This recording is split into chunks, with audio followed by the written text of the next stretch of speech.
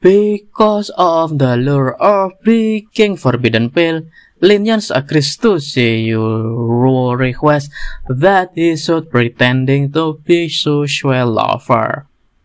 The three of them then continues their journey back to look for Martial King Kinsai.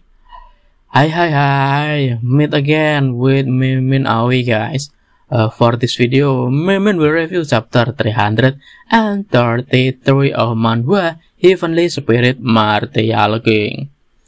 On the way, Lin Yan found a cave. After checking that there were monsters in the cave, and the place was quite hidden.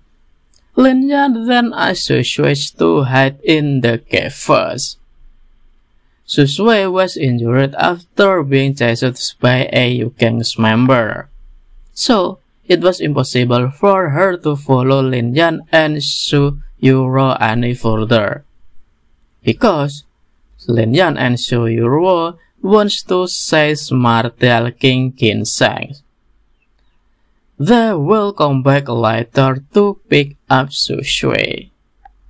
After Sushui agreed, Lin Yan and Suyuro continued their way towards the center of Dark River Mountain, and it seems their goal was already near.